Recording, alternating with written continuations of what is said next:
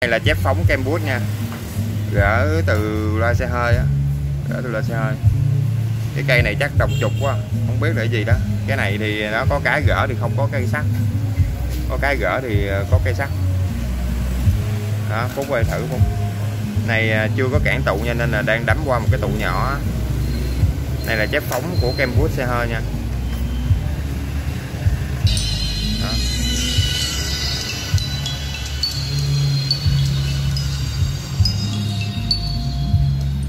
Chép kem bút ha.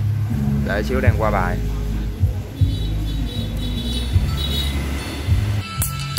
Đó.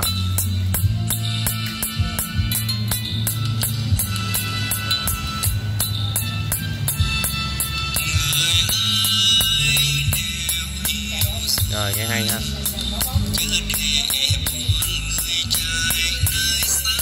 Này giá hơi cao nên là bán cái.